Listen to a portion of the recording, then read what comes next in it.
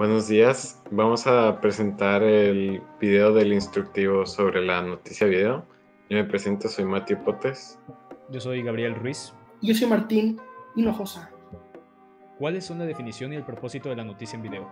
Las noticias son un medio divulgativo cuyo propósito es informar acerca de acontecimientos recientes de nuestra actualidad, mientras que el periodista, encargado de recaudar la información, tiene la responsabilidad de siempre relatar con la mayor objetividad y veracidad, al igual que debe crear un interés en su público para ganar más espectadores. Carecen de valoración personal, opiniones y creatividad comunicativa, ya que su propósito es puramente informativo, siendo caracterizado también por tener un estilo lingüístico claro, concreto y preciso. La noticia es un texto no literario que cuenta una realidad que pasa en un lugar en un determinado tiempo.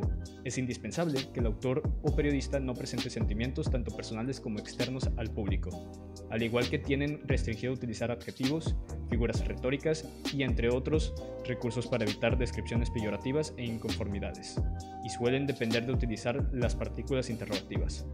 Con esto definido, procederemos a describir los elementos presentes en una noticia en video. Estructura interna, auditivo y visual.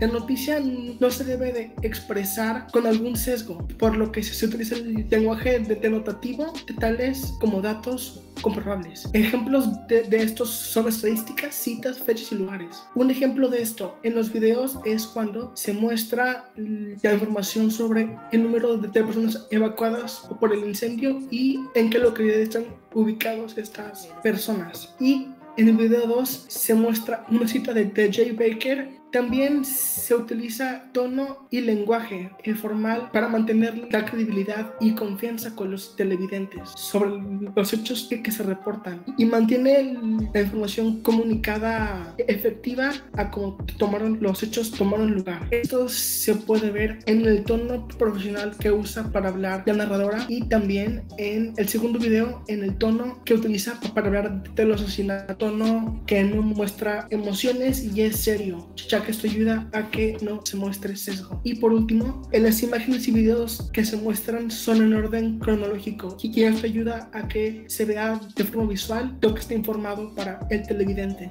Esto se ve en el video 1 cuando se muestran videos del incendio y en el segundo video cuando se muestra la escena del crimen con los policías alrededor.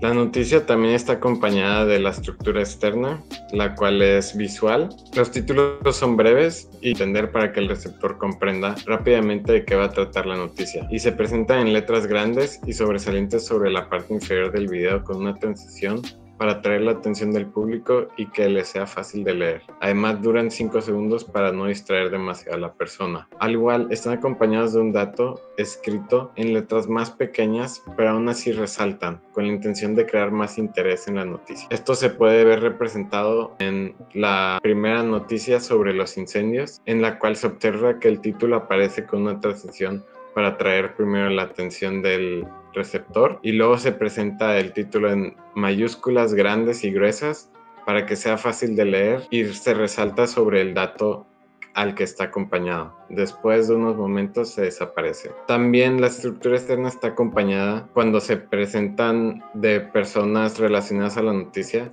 Se pone un cuadro de texto como el de los títulos el cual menciona el nombre de la persona y su relación a la situación, ya sea su vocación o si es testigo. El nombre está en letras grandes y resaltantes, mientras que su relación está en letras más pequeñas y simples. El propósito de incluir esto es demostrar la credibilidad de la información que se está presentando. Un ejemplo eh, se puede ver en el segundo video en el cual se resalta el nombre de la persona Judy Chu y luego en letras más pequeñas dice que es congresista demócrata por California. Esto siendo su relación con el tema que trata de la noticia. Eh, por último, en la estructura externa se presenta siempre el logotipo del canal de noticias en algún extremo superior para dar a conocer quién es el emisor del texto. Esto se puede ver en ambos videos. Eh, en cuanto al video de los incendios forestales, se puede percibir en la esquina derecha del norte y en los asesinatos de las mujeres asiáticas se puede percibir en la esquina superior izquierda el DW.